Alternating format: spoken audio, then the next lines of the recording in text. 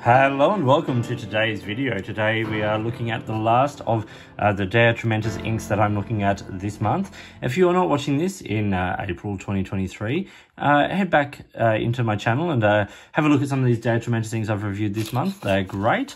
Uh, and the one we are looking at today is this, Deepwater Obsession Black Blue. This is from the Black edition line of inks. I'm going to look at it on some different kinds of paper, show some tests and have a bit of a chat about it. So we start with the ink here on a colouring card. You can see it's a very nice sort of uh, rich sort of teal blue black, if you will. Um, the black edition is inks that are black that are coloured in it. So it's like the black red and things like that. This is the black blue, so it's not strictly a blue black in that sense. Uh, it's just a very, very rich dark blue and it runs a sort of a, on the tealy end, a little bit of sheen there. Um, let's look at it on some paper.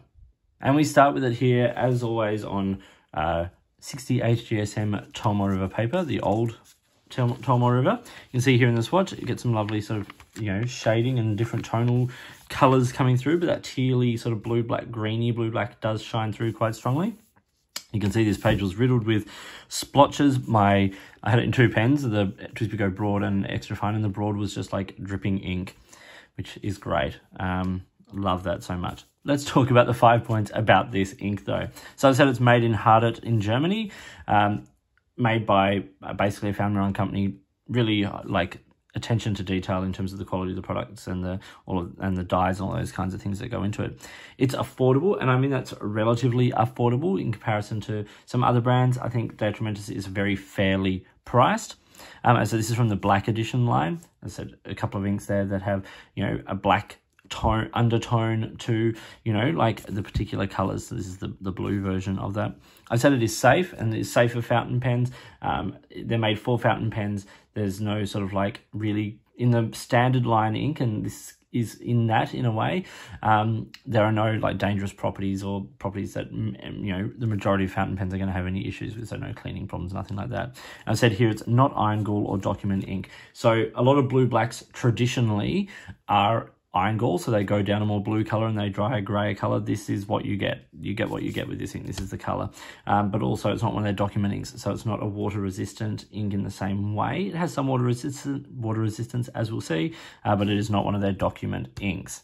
So let's talk about the performance. I've said excellent, excellent saturation, good flow and wetness, a teal undertone, which I've said, um, and a fair dry time. So after 20 seconds, it's still you know a little bit wet as uh, these inks, De Atramentis inks tend to be slightly on the wetter side in my, from what I have found.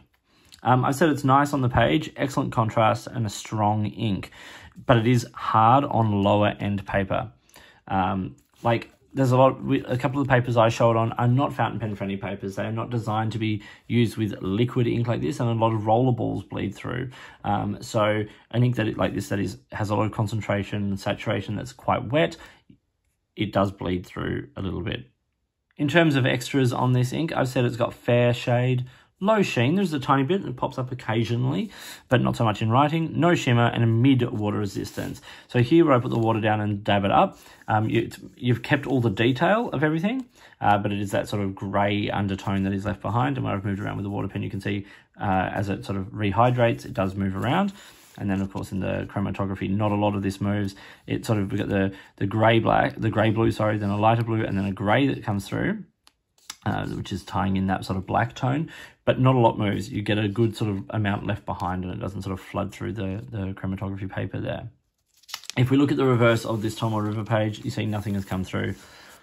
It performs very, very nicely. It's got a bit of ghosting. It's a rich dark colored ink, so it's going to, but it doesn't actually like um, bleed through at all.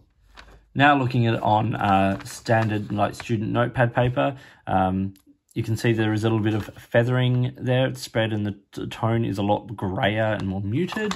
Uh, and if you look at the back, you see it does it does come through quite strongly uh, there. Even in the extra fine nib, we're still getting quite a bit sort of coming through on this paper. Now we get it on the regular, uh, you know, office printer paper, 80 GSM printer paper. Um, and once again, the tone is, is more muted. It's a little duller. Uh, we don't get any shading or anything like that. There's a bit of feathering, not as bad. Um, and if we look at the reverse, it it's it does come through. It performs okay in comparison to a few other inks I have on here, um, but it is you know harder on lower end paper. And now we have it on Rhodia, uh, sort of like the one of those like gold standards of fountain pen paper. Uh, you see in the swatch, we actually get lovely tonal variations, sort of like very rich, dark, moody, uh, dark, you know, blue blacky kind of tone. Uh, and then some lighter, nice lighter teal tones. And um, I didn't write with it with the extra fine, but we've seen how that writes on other uh, paper. Um, but we get some nice sort of shading and the lines are nice and tight. Where I put the water down, this is where I put the water down and then just let it dry. Um, you can see that there are, you know, it has spread out sort of quite a lot. If we look at the reverse of this page, you can see only where we put the swatch down and where we put the water down has anything come through in the writing. Nothing has come down at all. So doing a color comparison now, I've got a number of inks I want to put it alongside. And the first things I'm going to do is put it alongside a blue, Waterman Serenity Blue, because that is the standard. And then a black, which is Carbon Black from Platinum, which is my, like, I suppose one of my favorite blacks on things like alongside things like uh, Aurora Black, for instance, but this has got some lovely permanence and stuff. It's a good rich dark black. So you can see sort of where it fits. Um, I'm going to show it alongside a couple of other sort of blue blacks. We've got Diamine 1864 blue black there. You see it's not as like blue like a grey blue in the in the Diamine, the greeny tealy blue there in the De Atramentis, and then uh, the Monteverde blue black, which is sort of more on the grey end of blue black. So you can see where it sort of sits in that family. Then a couple of things I wanted to show alongside were Diamine Twilight here, which has some, I think, some similarities in sort of the undertones of the ink, and then Robert Oster Blue Addiction, which was an exclusive to the Australian retailer Pulp Addiction, uh, which I think also has some very similar uh, tealy blue undertones. So let's now talk about the business price. This is a slightly different price point to the regular inks. Um, so it's thirteen ninety two for the 45ml bottle, euro that is, or uh, 1550 US dollars. So I think uh, it's a it's it's like half a euro more, 70 euro cents uh, more for you know for the 45 ml bottle, which we have um, here, standard 45 ml bottle, um, and then yeah, just a couple of dollars more US.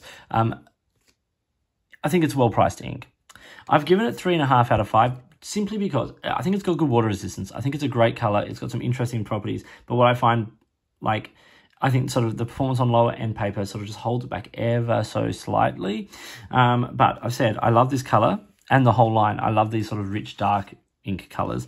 Um, lots of great properties, some bleed and feather, unfortunately, on low end paper. But if you're writing on good quality paper, Tomoe River, Rhodia, Clairefontaine, Graphilo, Midori, that kind of stuff, you're not going to regalia, you're not going to strike up too many issues with this ink.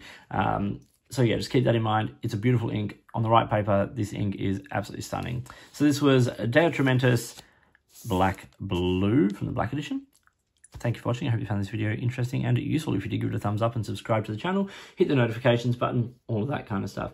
Thank you for watching this month, and I hope you enjoyed my little delve into De Atramentis and some of their beautiful inks. Big thank you to De Atramentis for supporting this month of reviews um, by providing a number of the inks for review.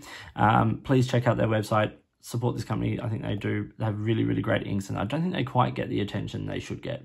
So thank you for watching. In the meantime, enjoy your inks, enjoy writing, and I'll talk to you soon.